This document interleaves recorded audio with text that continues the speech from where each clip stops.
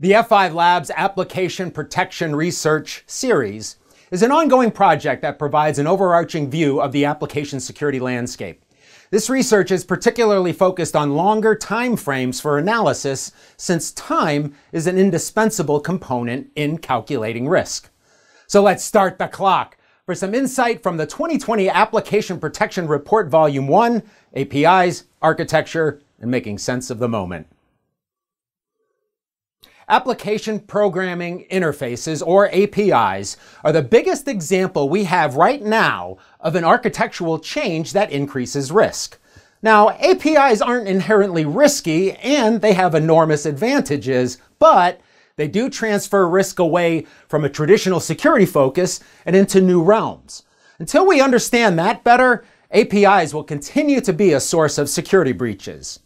API events are booming we observed nine API incidents in 2018, 35 in 2019, and 25 so far in just the first half of 2020.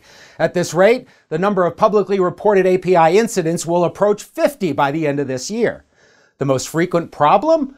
A complete lack of authentication in front of API endpoints, followed by broken authentication and authorization, issues that reflect a low level of security maturity.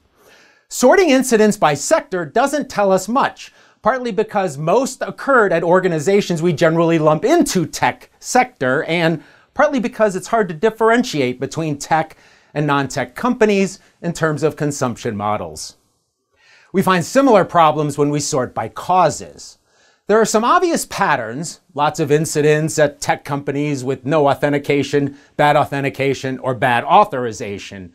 But we pretty much already knew that from looking at simpler views of the data. All that said, many organizations have done a good job of implementing design principles and technologies when publishing an API. To learn more about the 2020 APR and understand security controls that are recommended to protect against API attacks, visit f5labs.com for the full research. I'm Peter. Thanks for watching. Hey, like and subscribe if you haven't already and I'll see you next time on 90 Seconds of Security.